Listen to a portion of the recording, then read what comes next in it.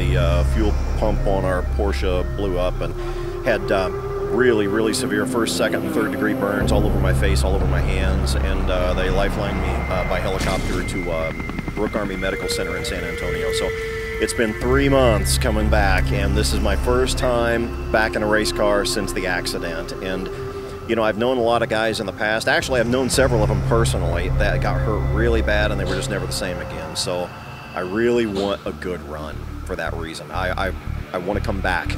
I want to be a good race car driver again. So tonight's a big deal for me.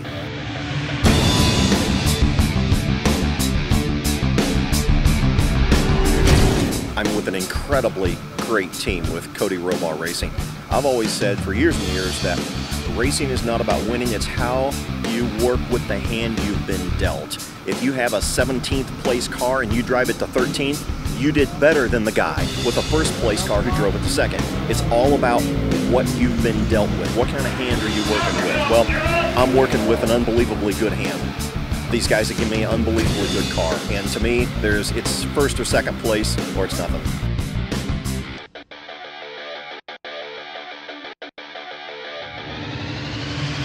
We came out in the first half, commanded the first half. I really thought we could almost lap the entire field. We had the race one, got taken out. Got all the way back up front, past the whole field again. Got all the way up, got right side by side with the leader, came down on me, got taken out. Back again, got all the way back up to second place. And, you know, the guy in, in turn three threw the yellow flag.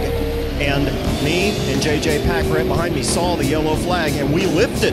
I had a chance to win that race going into the final turn, and we lifted because the local track guy in turn three threw a yellow flag.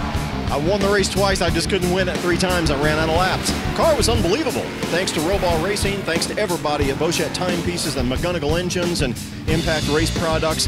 The car was just unbelievable. I really felt like my crew gave me the class of the field so far as cars go. At least maybe I showed somebody that it, no matter how bad I got hurt, I can still drive a race car a little bit.